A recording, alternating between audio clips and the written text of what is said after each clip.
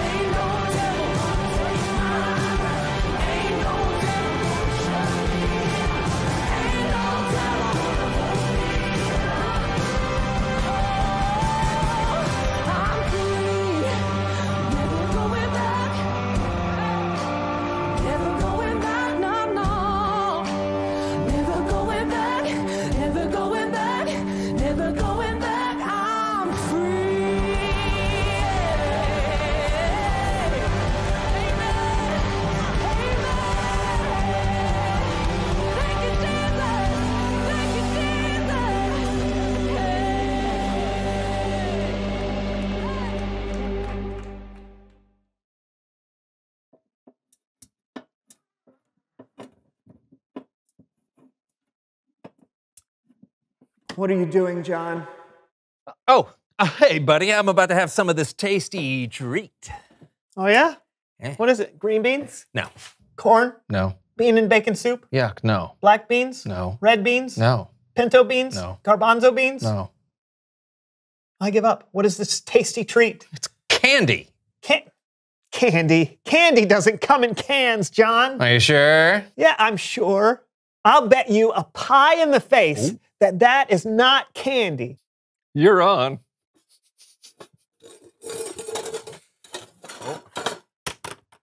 Canned E.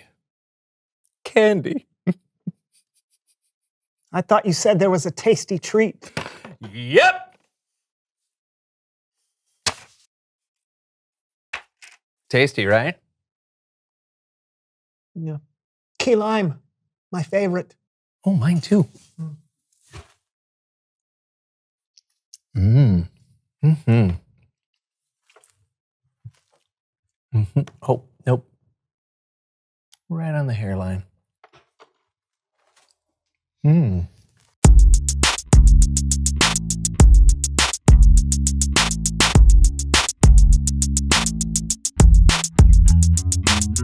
Greetings and salutations, our friends. fancy. Always. Uh-huh. I am Brandon. And I'm John. And welcome to the So and So Show. And what a show we have today. Am I right, Brandon? That's right. The the beauty is, we don't even know what the show will be today. That's right, because whether you're at home or at church or on the International Space Station, wherever you may be watching our show today, you are going to choose what happens on today's show. You get to create your own so and so show. Okay, here's how it's gonna work. We're gonna do the show like normal, but whenever John and I have a choice to make, you're gonna make the choice for us. All you have to do is cheer for the choice you want, wherever you are in the world, and we'll go with whoever cheers the loudest. You got it? Got it. I was talking to them. They got it. Okay, uh, so let's start. Um, John, how is your day going? Oh, uh, so good. So good. My Aunt Suzette came for a visit this weekend, and she always brings me candy. Oh, that is good. I want some candy. Do you have any left over? I don't know. Let me see. Ugh.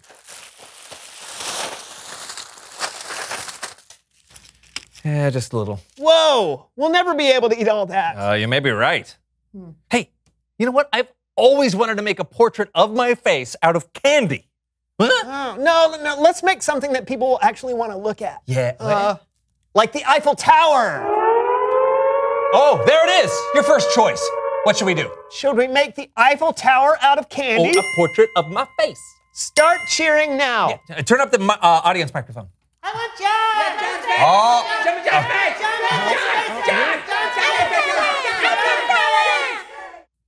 Okay, it sounds like you all want us to make a portrait of John's face out of candy. It's your choice. So let's get to work. come on.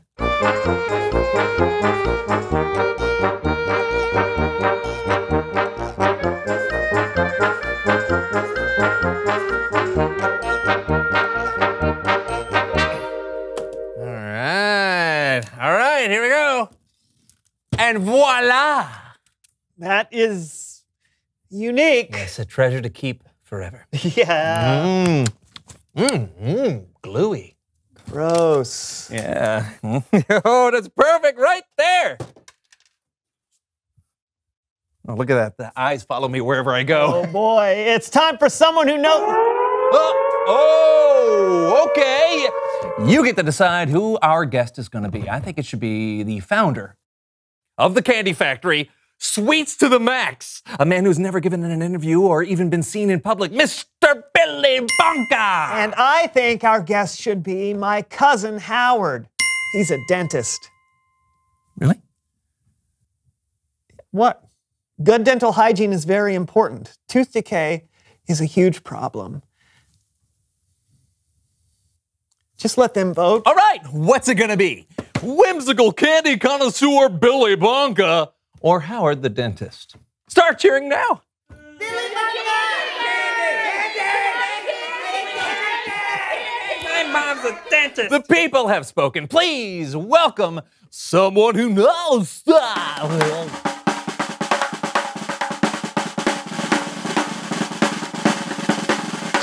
Come on in. Welcome. Okay. Welcome.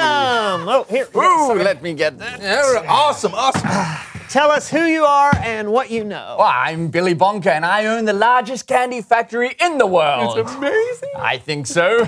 So, what, what do you love about candy? oh, what's not to love? The sugary sweetness, the chocolatey chocolateness, the creamy caramel deliciousness. Yes! I love it all, yes. But what I love most about candy Yeah? is the profit margins. The profit margins. Yes, let me just show you this candy bar. Yum! graph. It's a bar graph for candy. As you can see, The actual cost of a chocolate bar is 11 cents, but we sell it for $2.50. And then with quality market research and kids focus groups, we are able to determine the right color packaging that will lead to the highest profit margins. Do you know what the key to any successful candy company is? Uh, delicious candies? No. Variety. No. Strategic shelf space and positioning. The most profitable candies are the ones at the approximate eye level of an average sized child. Children want what they see. It's really that simple. I think we're out of time. Uh, are you sure? I have this uh, delicious chocolate pie. Pie! Chart. It's a pie chart for chocolate. Thank you. Thank you so much for being on the show today. Well, thank you for having me. Uh, pie chart Oh, you can. Okay. Yeah. Yes. for chocolate.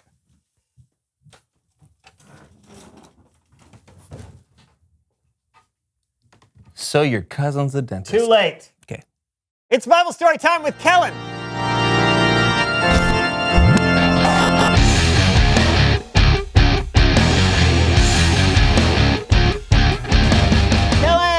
How's it going, gentlemen? Well, what do you got for us today? Well, our story today is about a woman named Lydia. And to help me tell it, here. Oh, you get to choose how we tell the Bible story today. Okay, I shot a film version of the story. Or I can read it. Start cheering now.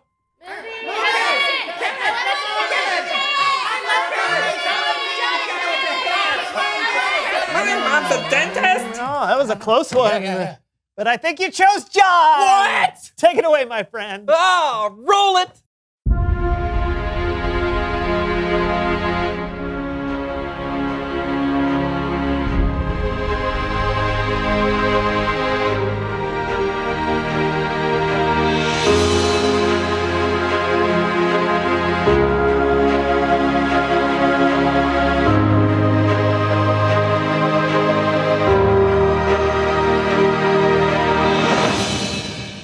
Let us go down to the river and see if we can find a place of prayer. Paul, over there. I'm Lydia.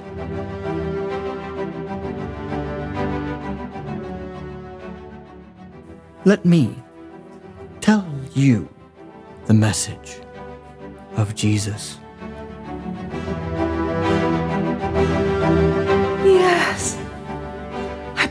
To be true. I want me and my entire household to be baptized.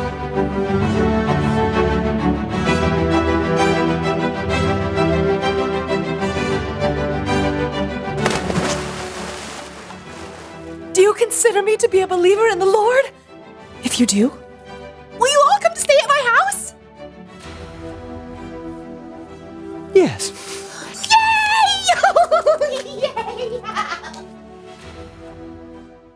That was it? Well, there's not a lot about Lydia in the Bible. John's right.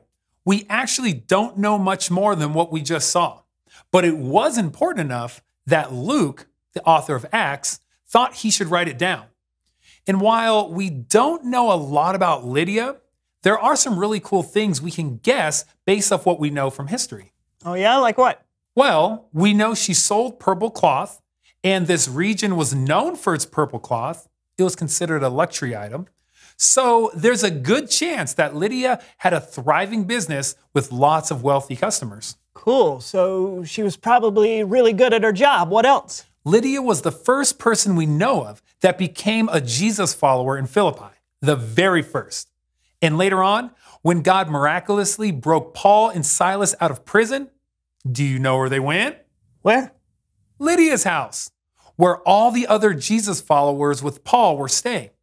Lydia had used her skill as a business person, her talent as a craftsperson, and the money she made to provide housing for Paul and all the other believers while they were in town. And she most likely became an important leader of the church in Philippi. She was willing to use her gifts to serve God by helping others. This could be a much longer movie. Definitely. I think one of the reasons Luke wanted to include this story was to show that God can use our gifts, no matter who you are or where you are. Every person has something they're good at that can be used to help others. Thanks. That's great, Kellen. Thanks so much. Yeah. You're welcome so much. I'll see you guys next time. Later. See ya. Bye. That was really great. Oh, yeah. I, I love that there's so much more to people than what we just see on the surface. I mean, it was just three verses in the Bible about Lydia, but here we are talking about her nearly 2,000 years later. Yeah. I think it's a good reminder that everyone has something to give. Everyone has something they're good at. Yeah, they do. Absolutely. Reveal the question. What are you good at? Maybe you're really good at a sport. Or understanding math. Or maybe, oh, you're really good at making people that feel left out feel welcome. Everyone has something they're good at. And, and what's cool is that you get to choose how to use the gift God gave you. Oh, which brings us to your final choice of the show. Okay, what should we do for the credits? I say we eat my self portrait. And I say, we bring on my cousin Howard, the dentist. Start cheering now. Dentist! Mm. I can't tell who won. Let's do both. Yeah! See you next time on the So and So Show. Yeah, bye. It's tooth time! Yeah! You get a toothbrush! You get a toothbrush! You get a toothbrush! You get another toothbrush! Floss time! One for you! One for you! Cause I got some tongue scrubbers! Oh, Scrub your tongue! There's top pocket floss right here! You got top pocket floss! That gets all of the little gremlins out! Tongue brush, tongue scrubber! Yeah! I gave myself a cut. I ran out.